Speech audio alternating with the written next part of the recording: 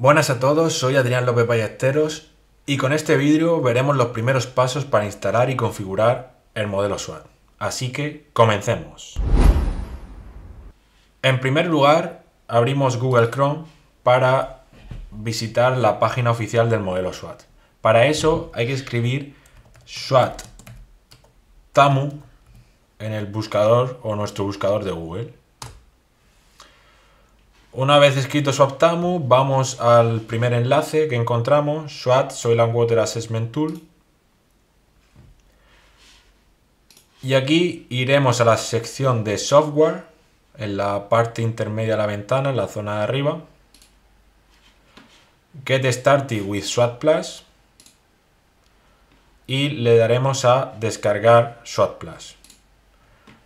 Esto nos llevará a su vez a otra página donde encontraremos toda la información del modelo SWAT Plus y en nuestro caso lo que nos interesa es haremos scroll hacia abajo iremos a la zona en la que pone SWAT Plus Installer Windows 64 bits.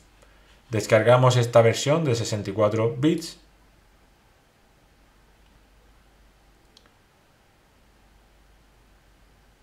Y esperamos a que se descargue Mientras tanto, deciros que el modelo SWAT Plus requiere la instalación del programa QGIS para su funcionamiento, por tanto vamos a ir descargando también ese programa. Para ello volvemos a abrir nuestro buscador, ponemos QGIS 3, en el primer enlace le damos a descargar QGIS y aquí vemos la versión actual del QGIS.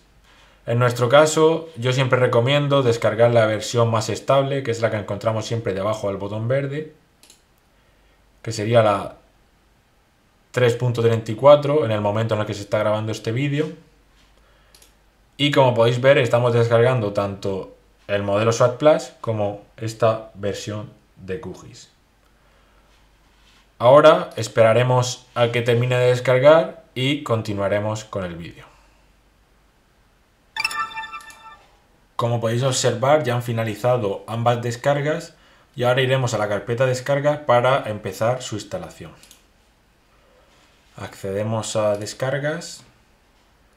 Primero instalaremos QGIS y a continuación el ejecutable de SWAT Plus. Para eso doble clic sobre el ejecutable. Comenzará la instalación. Pulsamos Next o Siguiente. Aceptamos los términos. Siguiente. Siguiente. Y comenzamos la instalación. Esta instalación puede tardar varios minutos. Depende de vuestro ordenador, así que paciencia.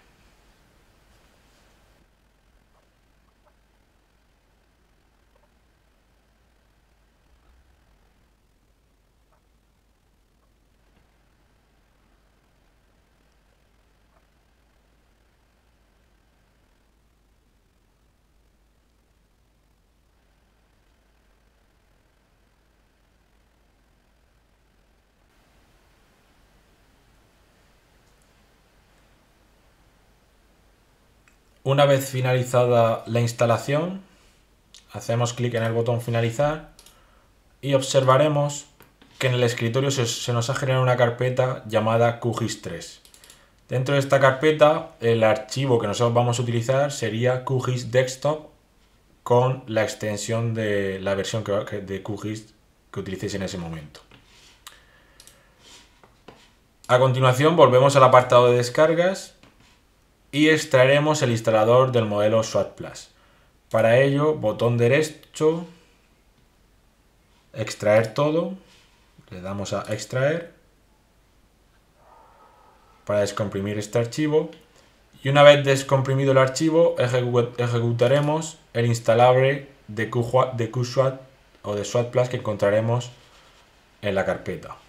Si nos sale este mensaje de Windows protegió, le damos a más información y le damos a ejecutar de todas formas. Aceptamos, le damos a siguiente, Siguiente. Le decimos que sí, que nos gustaría crear la carpeta SWAT, SWAT Plus dentro de disco C.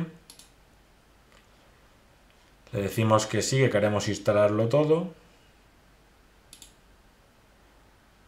Y por último le damos a instalar.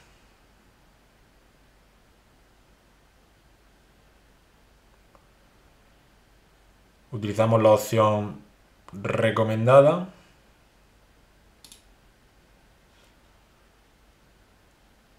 Y le damos a instalar. A continuación finalizar.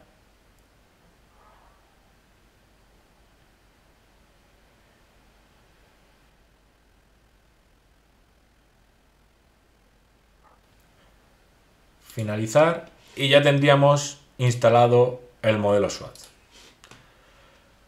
Como veis en el escritorio se nos ha generado un programita que se llama SWAT Plus Editor y un programita que se llama SWAT Plus Toolbox, los cuales utilizaremos en vídeos posteriores de este curso. A continuación, como he dicho, vamos a la carpeta de QGIS, abrimos QGIS Desktop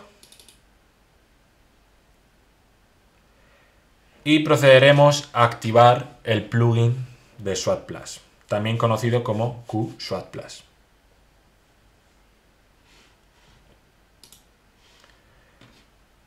Abrimos QGIS, si queréis ver la pantalla en blanco solamente tendréis que hacer clic en el icono de nuevo proyecto. A continuación vamos a complementos, administrar e instalar complementos y aquí tenemos que buscar SWAT. Nos aparece el siguiente complemento, QSWAT Plus 3, el cual es el que hemos instalado desde el instalador. Lo activamos.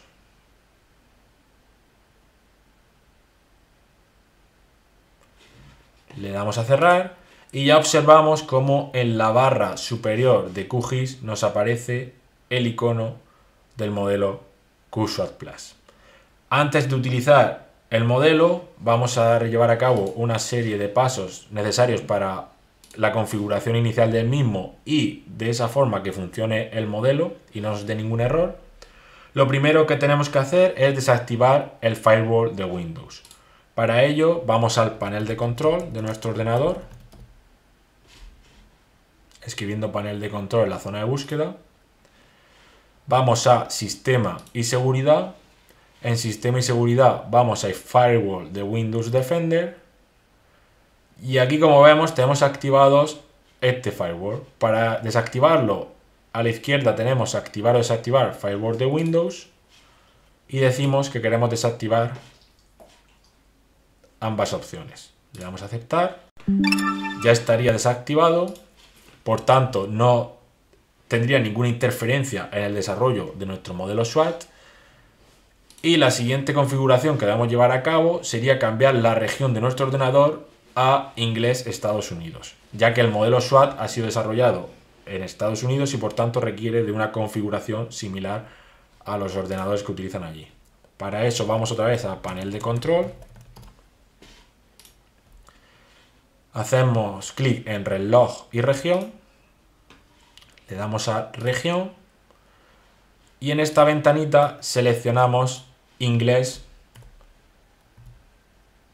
Estados Unidos. Lo buscamos, aquí abajo lo tenemos, inglés Estados Unidos, le damos a aplicar, aceptar. Y los cambios que ha realizado esta región se producen sobre todo en el formato de la fecha, la cual ya no será día, mes, año, será mes, día y año y sustituye la coma por punto como separador decimal. Si no hacemos este, esta configuración inicial, el modelo SWAT seguramente no funcione.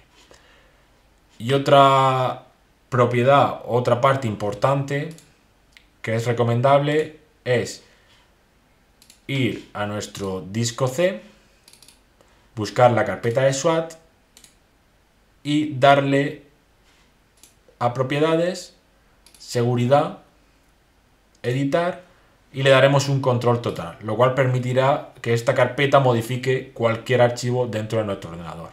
Le damos a aplicar, aceptar, aceptar y ya tendríamos realizada la configuración inicial para empezar a utilizar nuestro modelo de SWAT. Espero que esta parte te haya sido útil. Nos vemos en el próximo vídeo.